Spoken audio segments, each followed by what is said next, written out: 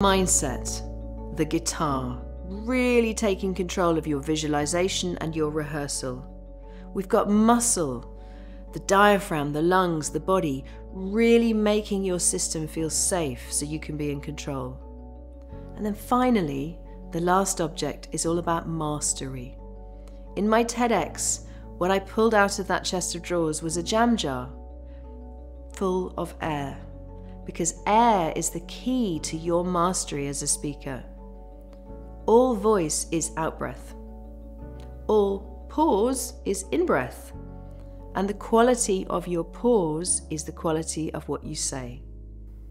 So if I rush my breath, hi, I'm Caroline, and it's pulled into my upper chest, I sound nervous and I feel nervous. If my breath is slow and relaxed, hi, I'm Caroline, I'm taking my time, I feel centered and calm. In my first book, Star Qualities, I interviewed the actor Ewan McGregor, and he talks about how he used to hate public speaking. And he said the reason he hated it was because he rushed as a speaker. He was like a runaway train. And he said his eureka was when he realized as an actor, all you do is go one sentence at a time, and every sentence is separated by a relaxed in breath. He said, when I did that in speeches, you know, when I had to be at my best friend's wedding as the best man, he said, then I wasn't a runaway train anymore. I stopped at every station. And I really want you to be able to do that too. So there's two things we need to do for this. First, find relaxed breathing. I want you to breathe low and wide, like your breath is the bottom of a pyramid.